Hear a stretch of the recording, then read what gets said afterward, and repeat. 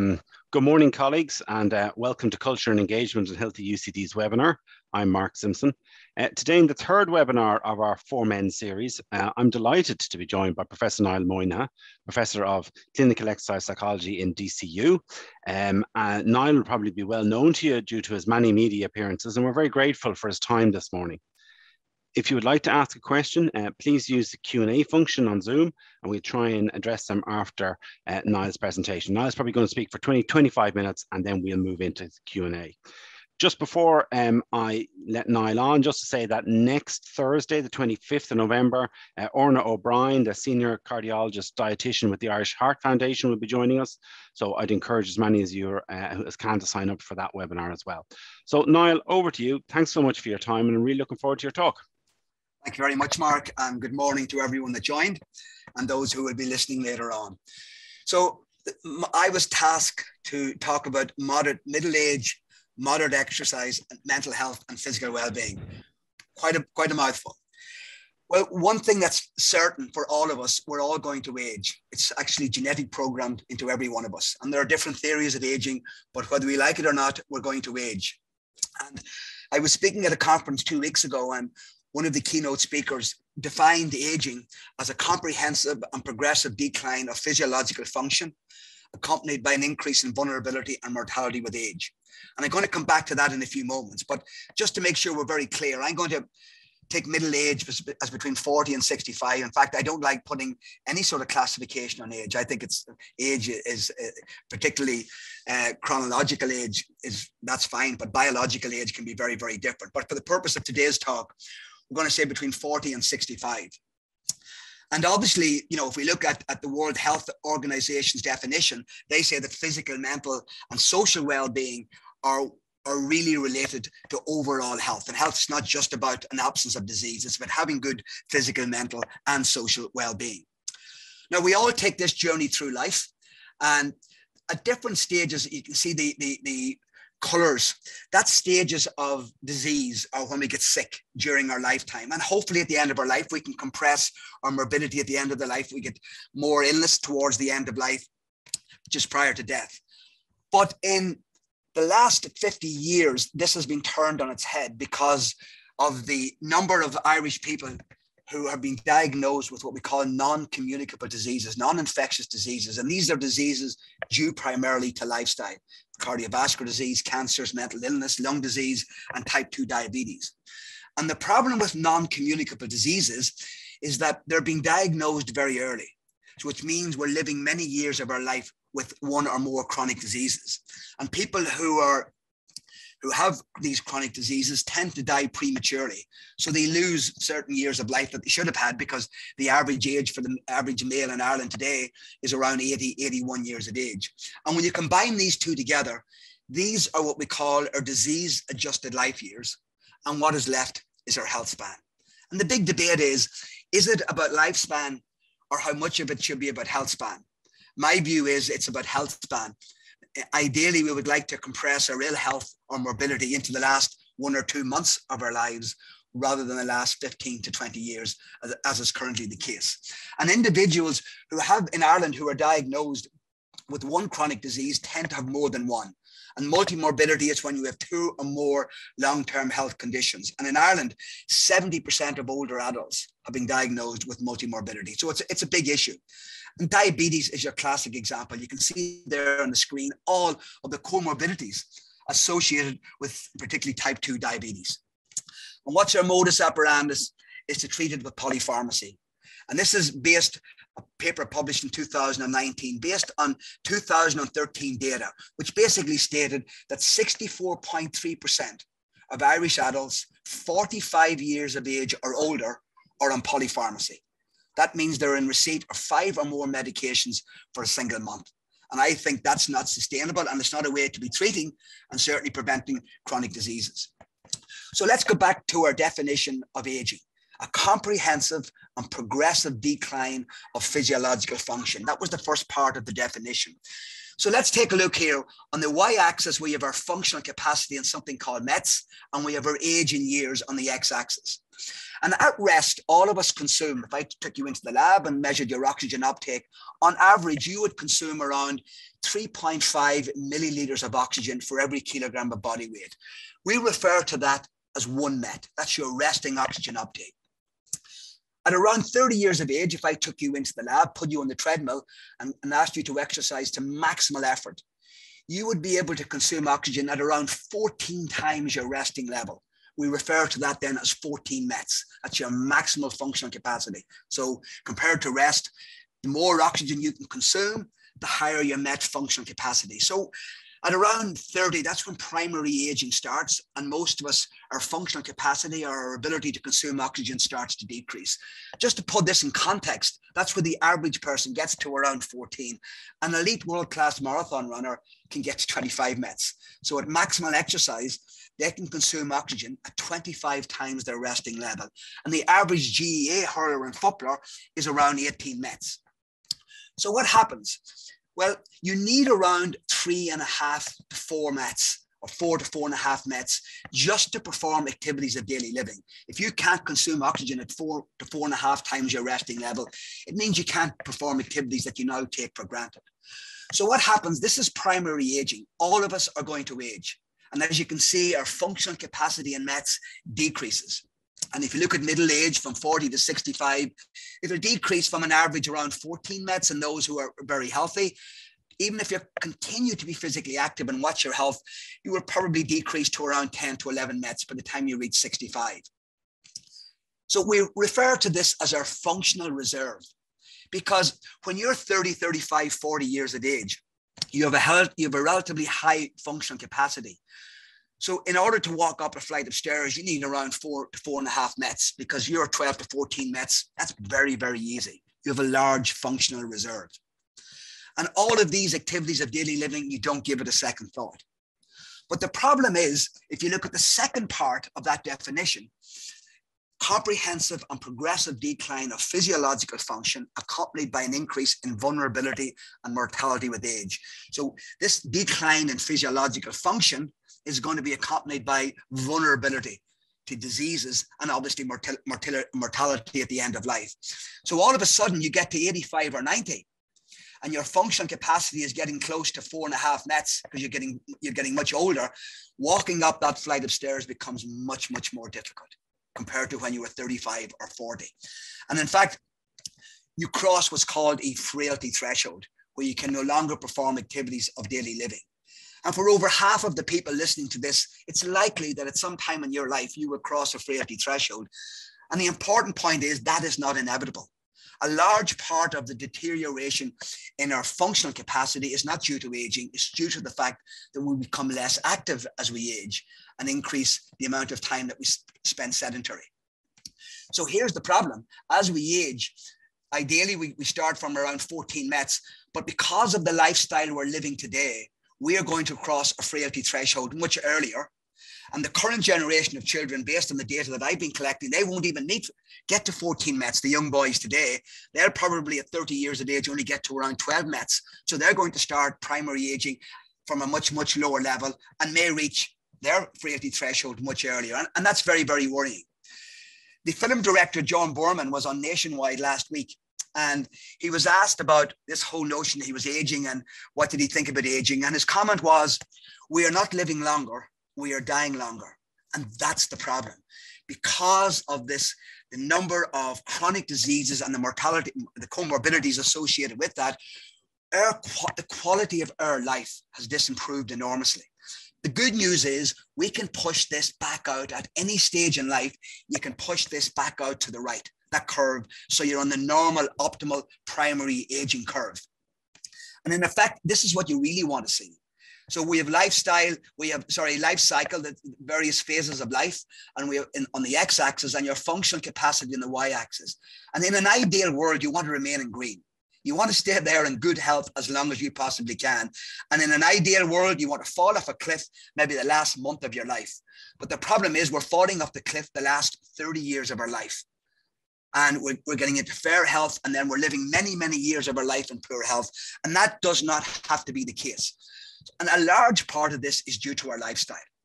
A recent study that just took four lifestyle risk factors smoking, your BMI, which is an indicator of your level of, of, of your body weight and body composition, your physical activity level, and your alcohol consumption. And they took 116,000 individuals. Of these, 45,000 were men. And what they did was they assigned them a healthy lifestyle score just based on these four lifestyle risk factors. So what they did was they assigned a score between zero and two, two being the best score, zero being the worst score. So if you got two for all of the four lifestyle risk factors, the maximum score you could get was eight. Then what they did was the number of disease of the number of life years between the ages of 40 and 75 that an individual was free from the diagnosis of any of these diseases. They then calculated this. So they, they, so they calculated their score and then they followed these individuals and tracked between the ages of 40 and 75 how many of these individuals developed these six chronic conditions. And here's what they found. If you were a male and you had the highest score compared to the lowest male, you lived a decade longer before being diagnosed with any of these chronic diseases. I mean, if there was ever a wake up call, that certainly is it. That certainly is it. These four simple lifestyle risk factors. If you're a woman, it was 9.4 years. And for every one unit increase, if you went from zero to one or one to two units, you lived an extra year before being diagnosed with any of those chronic diseases. So for me, the point I want to get across in this presentation is that exercise is medicine.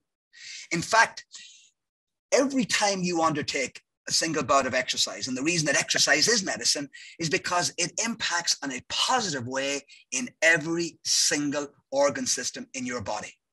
And indeed, if we could package the known benefits of exercise in a pill, without doubt, it would be the most prescribed wonder drug on the planet. Why is that? Well, the pharmaceutical industries now are trying to develop mimics, things that mimic the beneficial effects of exercise, and they want to put it in a drug. We already have the drug. It's called exercise or physical activity. It's currently recommended that we get 150 minutes of moderate intensity activity in bouts of at least 10 minutes or more uh, per day uh, each week. Now, that's the reason I was asked to talk about moderate intensity exercise. We were also taught, we're also advised to spend less time undertaking sedentary bouts, sitting for long periods of time. So, what is moderate intensity exercise? Go back to this curve again for functional capacity. If you're sitting doing nothing right now, listening to this presentation, you're at one MET. That's your resting oxygen uptake. You might be fidgeting, so let's say it's between one and 1.5 METs. If you then get up and amble around the house, walk up, walk up and down the stairs, go down to the garden, we refer, you're now consuming oxygen between 1.5 and three times your resting level. We refer to that as light intensity activity. If you then go out for a walk, we refer to that, uh, that's between three and six METs. We refer to that as moderate intensity. And that's what we're talking about. If you go beyond six METs, we refer to that as a vigorous intensity. And above 10, that is high intensity. So that's along this scale here. They're the different intensities. So basically, the current recommendations is that all adults in Ireland should get 30 minutes a day of moderate intensity exercise. And look where it is. It's way down there between three to six METs. It is very, very low. And it's what a lot of people say, well, to get this, maybe we should accumulate around 10,000 steps. That's, I think it's actually more, but say the 10,000 steps. So let me just give you an example of where this idea of moderate intensity exercise came from. This was a study done in America where they took a group of men, or just focus on the men, who were uh, uh, who were applying for a job and they assessed their fitness and then they tracked them. These were the low fit men, and number five are the high fit men out here. And what they found that these are the very high fit, these are the very low fit. The low fit men were three and a half times more likely to die from all causes compared to the high fit men. But the take home message here was this if you were moderately active, moderately fit, your risk wasn't that much higher compared to someone who was extremely active, but it was significantly lower compared to someone who was inactive.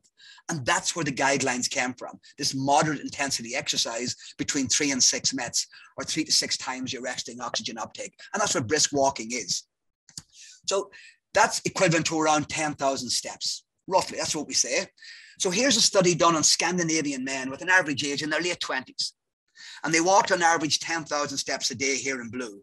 And they asked them to reduce their step count for two weeks to around 1,300 steps. And within two weeks, this is what they found a 7% decrease in their cardiovascular fitness, a 7% increase in fat around their internal organs, and a 17% reduction in the sensitivity of insulin, increasing your risk of being pre diabetic. That's within two weeks. If you ever wanted to see a study that showed that we were genetically engineered to be active, that is certainly it. And every time we, act, we exercise, and people don't appreciate this, we get what's called both an acute effect, uh, a response, and a, and a chronic response, or we adapt to chronic exercise. What do I mean by an acute response? Well, this is a study I did a number of years ago in the States, where, where these are natural killer cells, and these cells don't need to be primed. If they see a cancer or a virus, they immediately attack it. And boy, do we need those cells in the world we live in today. So in this study, I took a group of men and women, and I got them to exercise on a cycle in a lab. And they exercised at 55, 70, and 85% of their VO2 max for six minutes at each of those intensities. And as you can see here, the number of natural killer cells increased dramatically. Now, it's okay giving someone, that's like having an army with no ammunition. Could these cells kill? I then exposed the cells after 6, 12, and 18 minutes to cancer cells, and, it, and I then measured how well they were at killing cancer cells. And as you can see, after six minutes, of really easy exercise at 55%, which is equivalent to less than brisk walking. It's a very easy intensity. You had a significant increase in the ability of these natural killer cells to kill cancer cells. And there wasn't a further increase when we increased the intensity. What's the take home message? Getting up and exercising for six minutes every two hours increases your natural killer cell. That's the acute effect of the exercise bout. And we also know that an acute effect of exercise decreases your blood pressure, it decreases the circulating fat in your bloodstream, and lots of other things as well. Now, if we exercise chronically, again, let's take a look at particularly at, at, at, upper respiratory tract infections because of the world that we live in. If you do no exercise, you're sedentary, your risk is, pretty average. If you do moderate exercise, your risk is reduced dramatically. And if you're a, a well trained athlete and you train very hard, you increase your risk for opportunistic infections. And why is that? Well, if we undertake moderate amounts of exercise, we enhance our immunosurveillance, we enhance our immune system that they're better at surveillance and that then they're better at killing foreign antigens that enter our cell. And when we're highly trained, it actually impairs, but that's a, a scéal eile. Just to give you another example, because the vast majority, uh, majority of us in Ireland will die from ischemic heart disease. And as we all know, this is from the development of plaque that builds up in one of our three coronary arteries. And what happens eventually, this plaque, there's a fibrous cap separating the plaque from, your, from, the, from the blood, from the lumen. This ruptures and you can get a partial or a fully occlusive clot. And that's what causes about 90% of heart attacks. And exercise is probably the best way to prevent the biggest killer of men and women in Ireland. But when we have this disease, what's the current modus operandi? You go to a hospital and they put a stent in one of these arteries in the majority of cases. This is a study done a number of years ago by a, a, German cardiologist, and he took a group of 101 men who underwent angiography to see if they had blockages in the heart. 101 men who had the blockage, half then were assigned to, to, to a stent, and the other half were told to exercise 20 minutes a day for 12 months.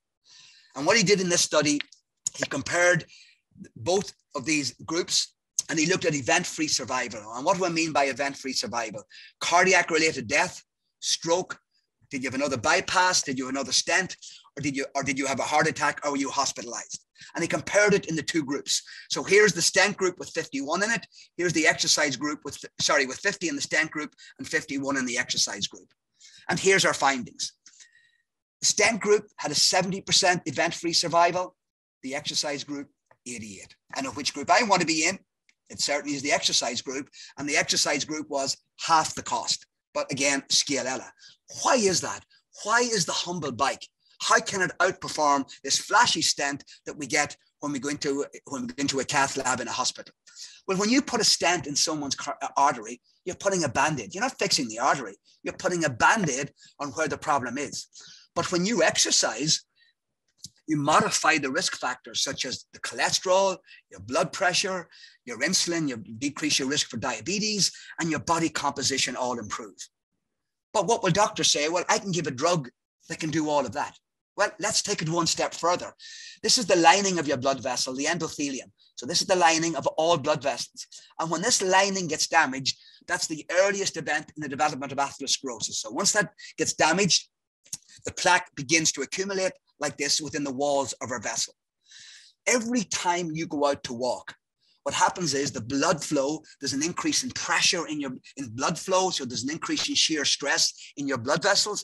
There's an increase in pressure, and there's something called circumferential stretch. Your blood vessels stretch, release, stretch, release each time the heart contracts and relaxes. And there are mechanoreceptors, these little receptors on the surface of your endothelium that sense this. And what they do, this signal is sent from the from the vascular from the from the lining of your blood vessels is sent into the inside of your blood vessel. And what happens is your vessel takes on what we call a healthy phenotype. It's a healthy blood vessel.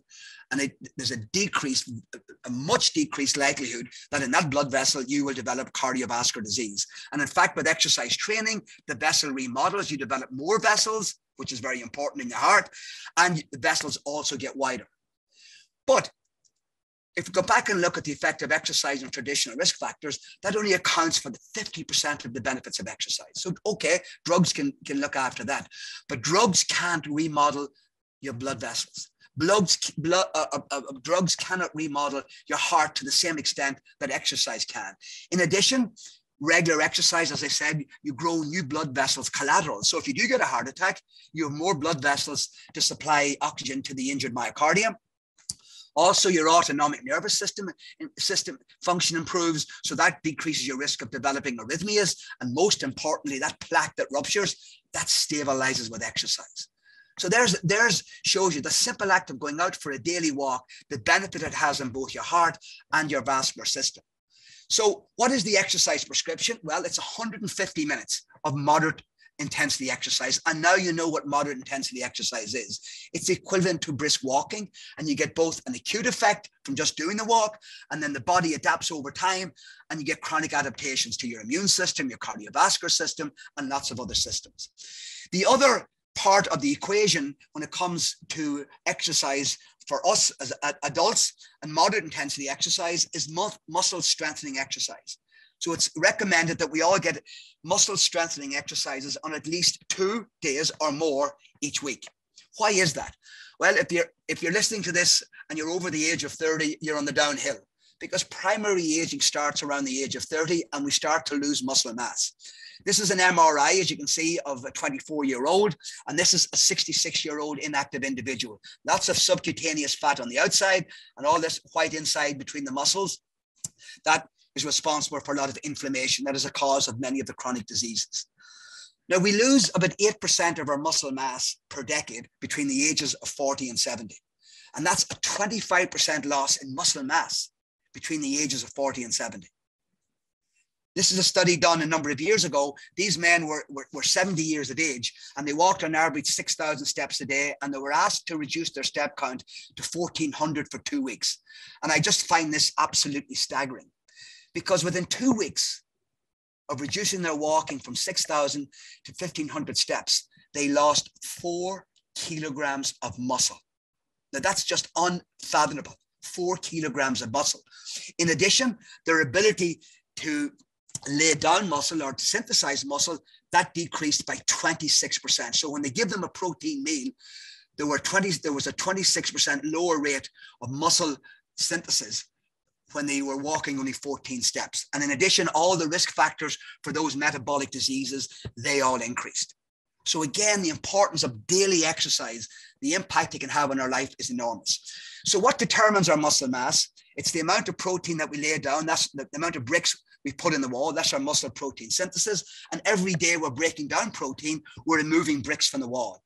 And it's the balance between muscle protein synthesis and breakdown that determines how much muscle we actually have. And in an ideal world, you want to mechanically load the muscle as many days of the week as you can to overload the muscle to be laying down muscle because as we age, the rate of breakdown becomes a little bit greater than the rate of, of synthesis.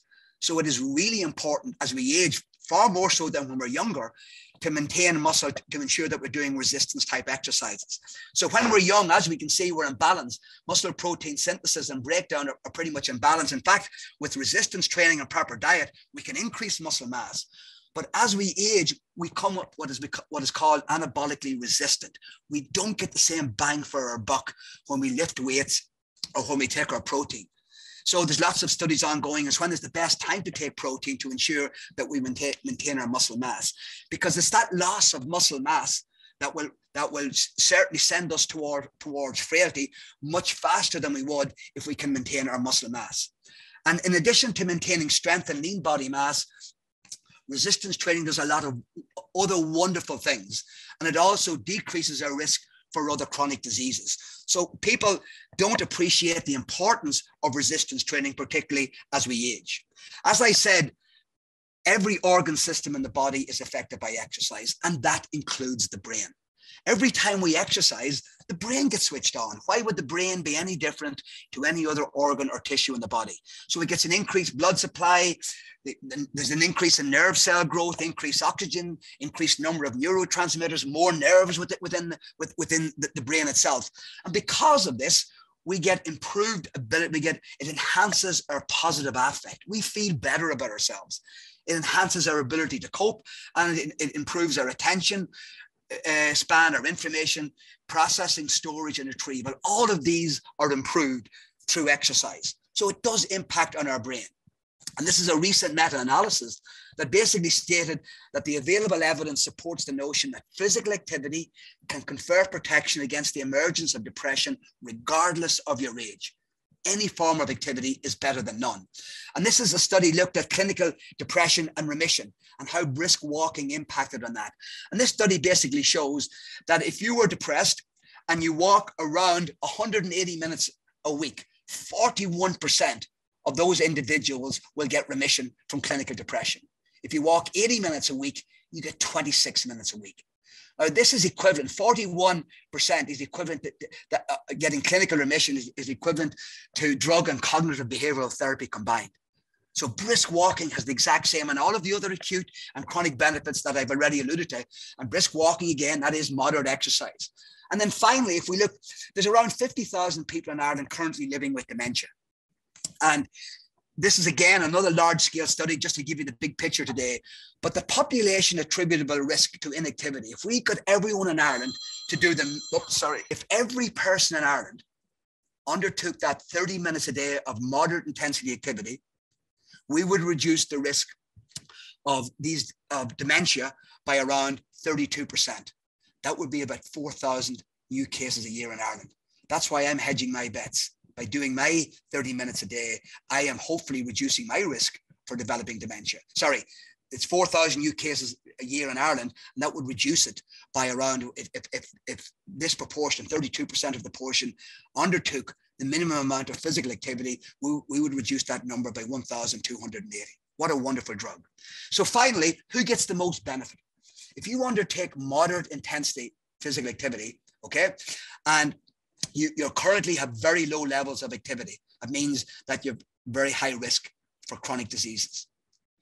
But if you do any form, if you increase your activity any amount, even a small amount of moderate intensity exercise, you get a tremendous reduction in risk. So the take home message is those who are doing the least will get the most by engaging in moderate intensity exercise. If you're already engaging in moderate intensity exercise, that's great. Continue to do it and you get all the attendant health benefits. And maybe now and again, you might try and do vigorous intensity exercise, go up above six meters, maybe go for a jog or, or split up your runs with jogs as well. So finally, what's my exercise prescription? Break up prolonged bouts of prolonged sedentary bouts. You should not sit for more than an hour at a time without getting up three times. And I mean, if, it's, if it's only for 30 seconds, 45 seconds, if you can, get into the habit when you can during the day, get up of your desk at regular intervals. If time is an issue, you can accumulate your minutes of moderate intensity physical activity throughout the day. And any amount, it does not have to be accumulated in 10 minute bouts anymore. You can accumulate it in a 30 second bout, 90 second bouts, whatever you want. Very importantly, select activities that you enjoy because it's more than likely you will sustain that activity. And very importantly, don't be worried about how hard you're exercising. Any form of exercise is going to be good. Exercise with you with at, at an intensity, at your own self-selected intensity that you prefer, and I can guarantee you, you'll get all the health benefits that you need. And finally, don't forget to do simple muscle strengthening exercises and to do them regularly. Thank you very much.